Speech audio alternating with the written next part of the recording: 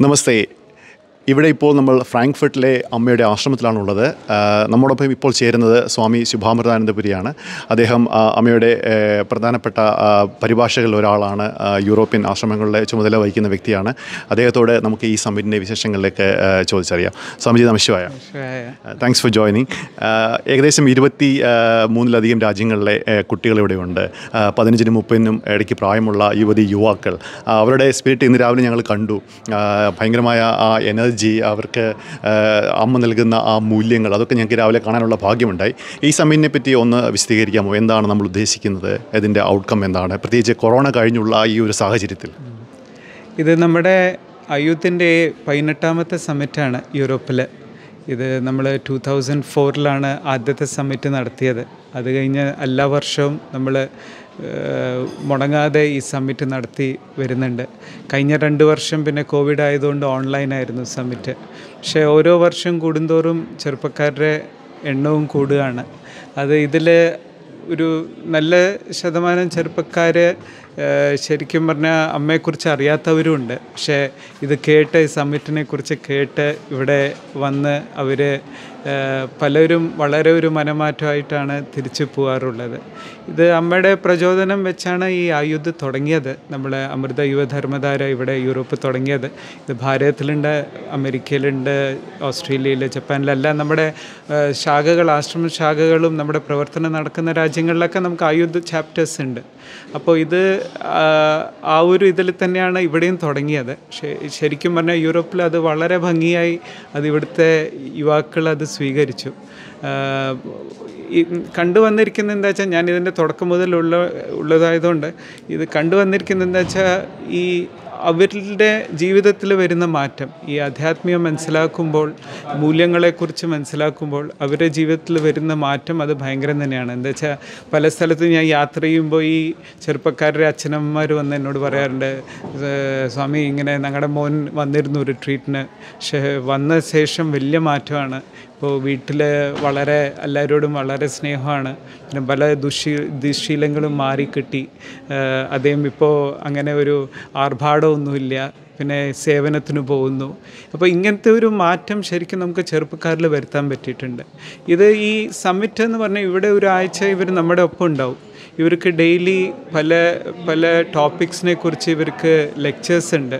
അത് പലവരും വരാറുണ്ട്. ഇപ്പോൾ അത് സയന്റിസ്റ്റ് ആവാം അല്ലെ അത് നമ്മുടെ ഇവിടുത്തെ ഇവിടുത്തെ ഗവൺമെന്റ് ഗവൺമെന്റിലുള്ള ആൾക്കാരാവാം അംബാസിഡേഴ്സ് ആവാം അല്ലെങ്കിൽ സ്പോർട്സ് പേഴ്സണാലിറ്റീസ് ആവാം ഫിലിം സ്റ്റാർസ് ആവാം. പിന്നെ ആശ്രമത്തിൽ നിന്ന് നമ്മുടെ നമ്മുടെ ഒരു സെഷൻസും ഉണ്ട് ഇവർക്ക്. അപ്പോൾ ഇതിന്ന് ഇവർക്ക് എന്താ വെച്ചാൽ ഒരു ജനറലി ഒരു ഹോളിസ്റ്റിക് വ്യൂ ഓരോ വിഷയങ്ങളെക്കുറിച്ച് ഇവർക്ക് കിട്ടുന്നുണ്ട്.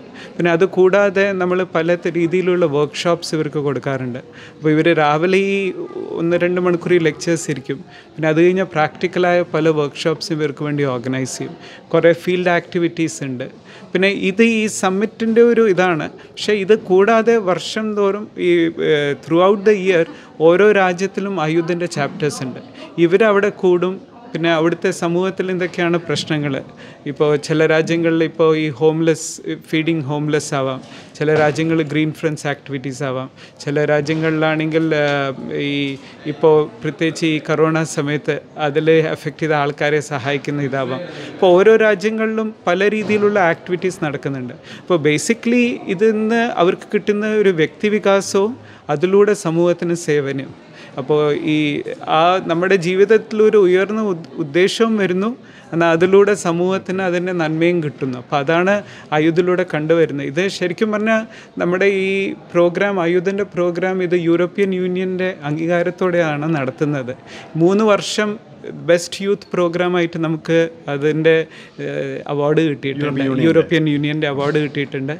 വേറെ ഒരു വലിയ ഓർഗനൈസേഷന്റെയും രണ്ട് വർഷം മുമ്പേ one of the best youth programme എന്ന് പറഞ്ഞ് നമുക്ക് അവാർഡ് കിട്ടിയിട്ടുണ്ട് സോൾപിക്ക് അവാർഡ് നമുക്ക് കിട്ടിയിരുന്നു. അപ്പോൾ ഈ രീതിയിൽ ഇപ്പോൾ നമ്മുടെ ആ മാർഗദർശനത്തിലും ഇവിടുത്തെ ആ യങ്സ്റ്റേഴ്സിന്റെ എന്തൂസിയാസത്തിലും ഇത് വളരെ ഭംഗിയായി മുന്നോട്ട് പോകുന്നു. പിന്നെ രതീഷ് പറഞ്ഞ പോലെ ഈ കോവിഡ് സമയത്ത് ഒരു രണ്ട് വർഷം യങ്സ്റ്റേഴ്സിന് അത് വളരെ ഒരു ബുദ്ധിമുട്ടുള്ള സമയമായിരുന്നു. എന്താ വെച്ചാൽ ഫ്രണ്ട്സിനെ കാണാൻ വയ്യ ഇത് ഒരു ഒറ്റപ്പെടലുള്ള ഒരു ഇതായിരുന്നു. പക്ഷേ എനിക്ക് തോന്നുന്നു അതിന് മുമ്പ് നമ്മുടെ യങ്സ്റ്റേഴ്സിന് കിട്ടിയിരിക്കുന്ന ഒരു ഇത് വെച്ചിട്ട് അവരത് വളരെ ഭംഗിയായി ഫേസ് ചെയ്തു. പിന്നെ അത് വളരെ ആ സമയത്ത് വളരെ ഒരു അഡ്വാന്റേജസ് ആയിട്ട് ആ ആ സമയം ഉപയോഗിച്ച് പല പല കലകളും പഠിച്ച് പല രീതിയിലും സമൂഹത്തിലേക്ക് സേവനത്തിന് ഇറങ്ങി പിന്നെ കുറച്ച് അവരുടെ ദൈനംദിന ജീവിതത്തിൽ യോഗയും ധ്യാനവും ഒക്കെ അവർ കൊണ്ടുവരാൻ വളരെ ശ്രമിച്ചു.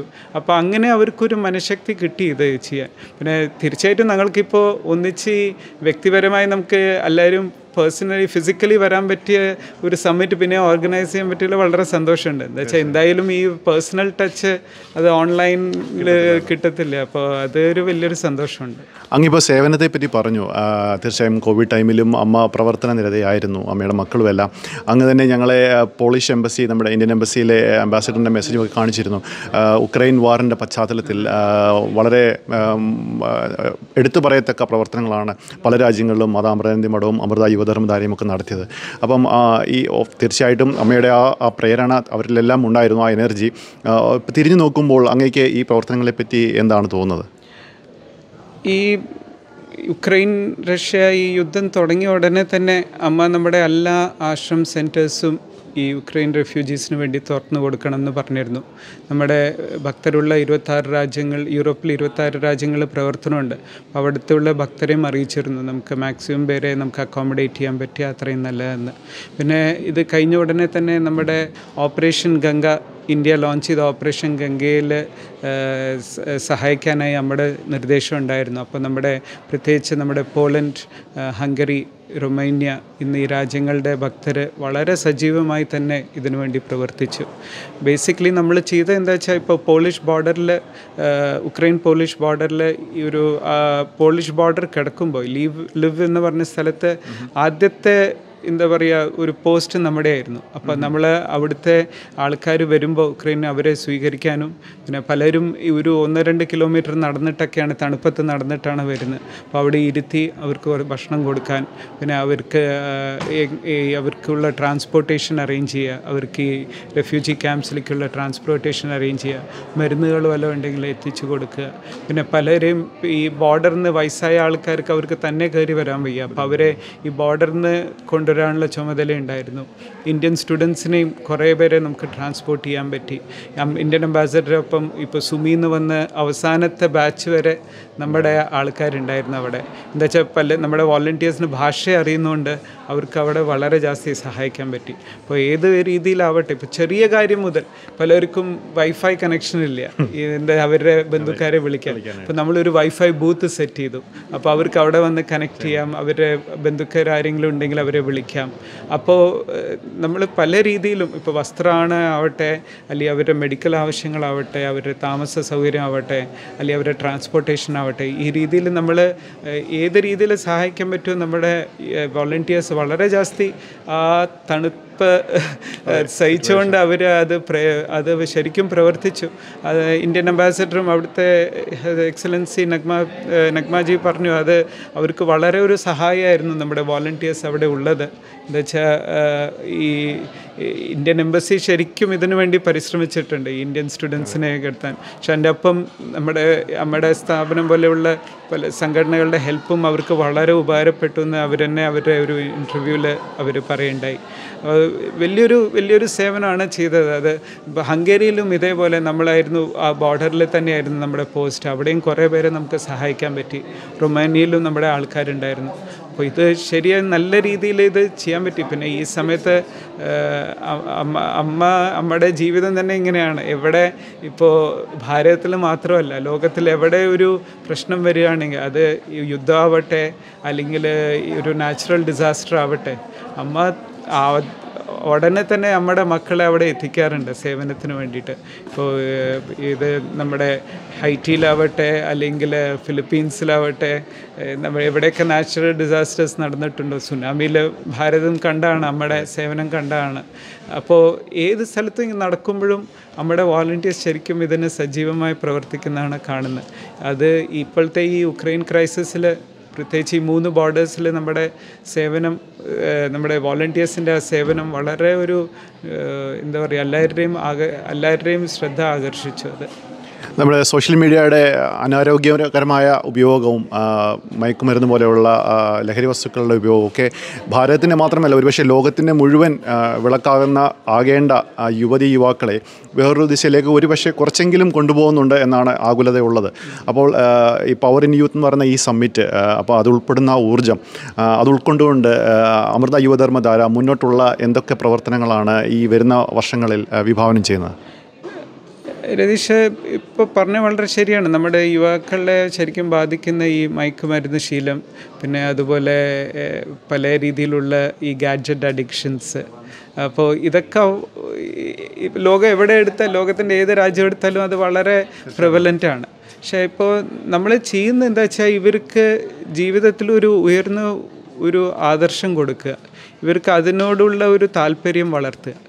ഇപ്പോൾ അത് ഒരു ഈ ലോക സേവനമാവട്ടെ തന്റെ ഞാൻ പണ്ട് ആദ്യം പറഞ്ഞ പോലെ വ്യക്തിവികാസവും അതിലൂടെ സമൂഹ സേവനവും അപ്പോൾ നമ്മുടെ ജീവിതം വരും ഈ തുച്ഛമായ സുഖങ്ങൾക്ക് വേണ്ടി നമ്മൾ കളയേണ്ടതല്ല.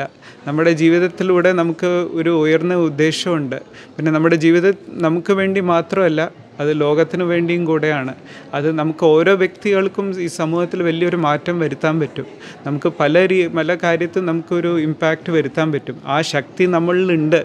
അത് നമ്മൾ ജസ്റ്റ് അത് നമ്മൾ ഉപയോഗിച്ചാൽ മതി. അതിൽ ജസ്റ്റ് നമ്മളൊന്ന് ടാപ്പ് ചെയ്താൽ മതി. ആ ശക്തി നമ്മളിലൂടെ പ്രവഹിക്കും.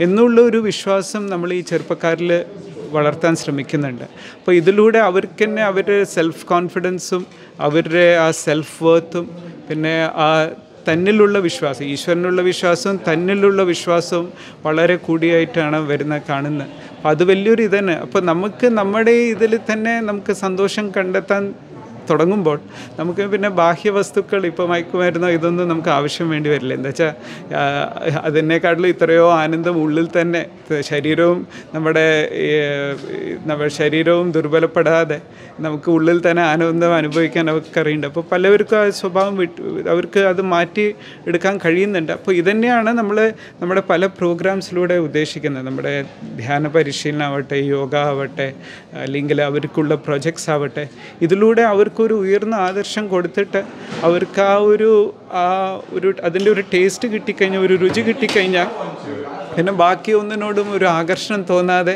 ഒരു നല്ല മാർഗത്തിൽ ധർമ്മത്തിന്റെ മാർഗത്തിൽ അവർക്ക് നയിക്കാൻ കഴിയും. അപ്പോൾ അതാണ് നമ്മുടെ ഓരോ ചാപ്റ്റേഴ്സും സംഭവിക്കുന്നത് അപ്പോൾ ഇതിൽ തീർച്ചയായിട്ടും രണ്ട് ഉദ്ദേശമുണ്ട്. ആ വ്യക്തിയുടെ വികാസം എന്നാൽ അത് സമൂഹത്തിന്റെ സേവനമായി മാറുന്നുമുണ്ട് അത് ശരിക്കും ഈ കഴിഞ്ഞ ഒരു പതിനെട്ട് വർഷത്തിൽ അത് ഞാൻ ആയുധത്തിലൂടെ പ്രത്യക്ഷമായി വളരെ വ്യക്തമായി ഞാൻ യൂറോപ്പിൽ അത് കണ്ടിട്ടുണ്ട്. സ്വാമിജി അവസാനമായി തത്വമയുടെ പ്രേക്ഷകർക്ക് അങ്ങയുടെ മെസ്സേജ് എന്താണ്? നമ്മുടെ ഓരോ വ്യക്തികൾക്കും ഒരു റോൾ മോഡലാകാം നമ്മൾ ഇപ്പോൾ ഈ യുവാക്കളുടെ ഇത് പറഞ്ഞു കഴിഞ്ഞാൽ ഇന്ന് നമ്മൾ പലരും പറയും എന്താണ് ഇന്ന് യുവാക്കൾ ഇങ്ങനെ വഴി തെറ്റിപ്പോകുന്നത്? അല്ലെങ്കിൽ എന്താണ് പണ്ടൊന്നും ഇങ്ങനെയല്ലായിരുന്നല്ലോ സമൂഹം ഇപ്പോൾ എന്താ ഇങ്ങനെയാണെന്ന്? പക്ഷേ അതിന്റെ ഒരു വലിയ കാരണം എന്താ വെച്ചാൽ പലപ്പോഴും അവർക്ക് നല്ല റോൾ മോഡൽസ് കിട്ടാറില്ല സമൂഹത്തിൽ. അപ്പോൾ അവർക്ക് വീട്ടിൽ നിന്ന് തന്നെ ഈ മൂല്യങ്ങൾ നമ്മൾ കൊടുക്കാൻ ശ്രമിക്കണം. അച്ഛനും അമ്മയും നല്ലൊരു എക്സാമ്പിളായി മാറണം നല്ലൊരു റോൾ മോഡലായി മാറണം മക്കൾക്ക്. അവരുടെ സ്വഭാവത്തിലും അവരുടെ ജീവിതത്തിലൂടെ മക്കൾ അത് കാണുമ്പോൾ ആ മൂല്യങ്ങൾ കാണുമ്പോൾ തീർച്ചയായിട്ടും അവർക്കും അത് ജീവിതത്തിൽ കൊണ്ടുവരാനുള്ള ഒരു പ്രചോദനം ഉണ്ടാവും. പിന്നെ തീർച്ചയായിട്ടും അവർക്ക് അധ്യാത്മിക സംസ്കാരം കൊടുക്കുക. തീർച്ചയായിട്ടും നല്ല വിദ്യാഭ്യാസവും അവരുടെ ആവശ്യങ്ങളെല്ലാം നോക്കണം. അതിലൂടെ മൂല്യങ്ങൾ നമ്മൾ ആ സമയത്ത് ശരിയായ സമയത്ത് തന്നെ അത് കൊടുക്കണം. അമ്മനെ പറയും ഈ പോച്ച നമ്മൾ പുല്ലിന്റെ മുകളിൽ നടന്നാൽ പെട്ടെന്ന് പാത തെളിയും. പക്ഷേ കല്ലിന്റെ മുകളിൽ നടന്ന പാറയുടെ മുകളിൽ നടന്നാൽ തെളിയില്ല. അപ്പോൾ അത് ചെറുപ്പത്തിൽ തന്നെ കൊടുക്കേണ്ട വളരെ ആവശ്യമാണ്. പിന്നെ നമ്മുടെ നമ്മുടെ ഭാഗത്തു നിന്ന് ഈ എനിക്ക് തോന്നുന്ന ഈ ചെറുപ്പക്കാർക്ക് വേറെ ഒരു ചെയ്യേണ്ട കാര്യം ഇപ്പോൾ പല വീടുകളിലും പ്രത്യേകിച്ച് ഞാൻ യൂറോപ്പിൽ എപ്പോഴും നമ്മൾ ചെയ്യാ പറയാറുള്ളത് അവർ പലപ്പോഴും അവരുടെ വീടുകളിലെല്ലാം ഉണ്ട്. അവർക്ക് ഇപ്പോൾ ഈ ബേസിക് നെസസിറ്റീസ് എല്ലാം അവർക്കുണ്ട്. പക്ഷേ ഇങ്ങനെ മാത്രം വളരുമ്പോൾ ചിലപ്പോൾ ഇനിയും വേണം ഇനിയും വേണം എന്നുള്ള ആഗ്രഹം മാത്രമേ ഉള്ളൂ. ഇപ്പോൾ പല ഇപ്പോൾ അവരുടെ ഈ ജീവിതത്തിൽ അവർക്ക് കിട്ടിയിരിക്കുന്ന ഇത് അതിൽ തൃപ്തിപ്പെടാതെ ഇനിയും എനിക്കെന്ത് കിട്ടാൻ പറ്റും എന്നുള്ളൊരു ഫോക്കസാണ്. പക്ഷെ നമ്മൾ കണ്ടിരിക്കുന്ന പല ചെറുപ്പക്കാരെയും നമ്മൾ സോഷ്യൽ പ്രോജക്ട്സിൽ ഇൻവോൾവ് ചെയ്യുമ്പോൾ അവരിപ്പോൾ ഒരു ഓഫനേജ് ആവട്ടെ ഒരു ഹോംലെസ് ഷെൽട്ടർ ആവട്ടെ അല്ലെങ്കിൽ പല ഇങ്ങനത്തെ രാജ്യങ്ങളിൽ അവർ യാത്ര ചെയ്ത് ഇങ്ങനത്തെ സോഷ്യൽ പ്രൊജക്ട്സിൽ എടുക്കുമ്പോൾ അവർ ജീവിതം ശരിക്കും ഒരു മറ്റേ അതിന്റെ യാഥാർത്ഥ്യം കാണുകയാണ് അവർ അപ്പോൾ അതിലൂടെ തനിക്കുള്ള ഇപ്പോൾ ജീവിതത്തിലുള്ളത് ഇത്ര ഇത്രയോളം തനിക്ക് ബ്ലെസ്സിങ്സ് ഉണ്ട് ഇത്രയോളം അനുഗ്രഹം ഉണ്ടെന്ന് മനസ്സിലാവും. ഉള്ളത് വെച്ച് തൃപ്തിപ്പെടും. പിന്നെ തന്റെ കയ്യിലുള്ളത് അത് ഷെയർ ചെയ്യാനുള്ള മനസ്സും വരും. അപ്പോൾ ഇത് ഒരു കൃതജ്ഞതാ മനോഭാവം അവരിൽ വരും. അത് എനിക്ക് തോന്നുന്നത് വളരെ ഇമ്പോർട്ടന്റ് ആണ്. അപ്പോൾ എനിക്ക് തോന്നുന്നു ഈ ചെറുപ്പക്കാരെ പ്രത്യേകിച്ച് അവർക്കുള്ള വെക്കേഷൻ സമയത്ത് തീർച്ചയായിട്ടും അവർ അവർ അവർക്ക് ഇഷ്ടപ്പെടുന്ന സ്ഥലത്ത് കൊണ്ടുപോകുന്ന അത് തെറ്റൊന്നുമില്ല. പക്ഷേ കിട്ടുന്ന അവസരത്തിൽ അവരെ നല്ല സോഷ്യൽ പ്രോജക്ട്സിൽ ഇൻവോൾവ് ചെയ്യിക്കുക അവർക്ക് ഈ തനിക്ക് തന്നെക്കാട്ടിലും കഷ്ടപ്പെടുന്ന എത്രയോ പേരുണ്ട്. അവരുടെ സ്ഥിതി മനസ്സിലാക്കാനുള്ള ഒരു അവസരം കൊടുക്കുക. അതിലൂടെ അവരിലുള്ള കാരുണ്യം വളരും. അമ്മ അതാണ് ചെയ്തിരിക്കുന്നത്. നമ്മുടെ യൂണിവേഴ്സിറ്റീസിലൂടെ നമുക്ക് ലിവിൻ ലാബ്സ് എന്ന് പറഞ്ഞൊരു പ്രൊജക്റ്റ് ഉണ്ട്. അപ്പോൾ ഈ യൂണിവേഴ്സിറ്റി സ്റ്റുഡൻസിനെ നമ്മൾ ഗ്രാമങ്ങളിൽ കൊണ്ടുപോകും. ഈ അവരവിടെ ഒരു പത്ത് പതിനഞ്ച് ദിവസം ഗ്രാമീണരോടൊപ്പം ജീവിക്കും. അപ്പോൾ അവിടുത്തെ ആ സ്ഥിതി മനസ്സിലാക്കും ആ ഗ്രാമത്തിലുള്ള സ്ഥിതി. ഇവർ പലതും പഠിക്കും. ഗ്രാമീണരെന്ന് അവരുടെ നല്ല എത്രയോ കാര്യങ്ങൾ ഇവർക്കും പഠിക്കാൻ പറ്റും. എന്നാൽ അവരെ ഏത് രീതിയിൽ അവരുടെ ജീവിതം ഇനി മെച്ചപ്പെടുത്താൻ പറ്റും എന്നുള്ളൊരു ഒരു തോട്ട് പ്രോസസ്സും കൂടെ ഇവർ വരും. അപ്പോൾ ഇവർക്ക് അവരെ ആ പഠിത്തവും അവരുടെ ആ നോളജും അതിനുവേണ്ടി ഉപയോഗിക്കാനുള്ള ഒരു പ്രേരണയും കൂടെ കിട്ടും. അപ്പോൾ ഈ ഒരു ഔട്ട്ലെറ്റും കൂടെ അച്ഛനമ്മമാർ മക്കൾക്ക് കൊടുത്താൽ വളരെ നന്നായിരിക്കും തോന്നുന്നു. എനിക്ക് തോന്നുന്നു ഇത് ഒരു ഒരു സ്ഥാപനത്തിന് മാത്രം ചെയ്യാൻ പറ്റിയ കാര്യമല്ല. ഇത് ഓരോ വീട്ടിലും ശ്രമിച്ചാൽ തീർച്ചയായിട്ടും സമൂഹത്തിൽ വലിയൊരു മാറ്റം ഉണ്ടാവും. വരുന്ന തലമുറ ശരിക്കും ശരിയായ മാർഗത്തിൽ ധർമ്മത്തിന്റെ മാർഗത്തിൽ നയിക്കുന്നു എനിക്ക് തോന്നുന്നു. സമജി വളരെ സന്തോഷം ഞങ്ങളോടൊപ്പം ഇത് പങ്കുവച്ചതിന്. Thank you Ratheesh. എന്നെ ഈ ഒരു അവസരം തന്നതിന് വളരെ സന്തോഷം. നിങ്ങളിവിടെ ഈ ആയുത് പ്രോഗ്രാമിന് നിങ്ങൾക്ക് വരാൻ പറ്റിയതും നമ്മുടെ ഒപ്പം ചേരാൻ പറ്റിയതും അതിൽ വളരെ സന്തോഷമുണ്ട്. ഞങ്ങളെയാണ് സന്തോഷം. Thank you സമജി thank U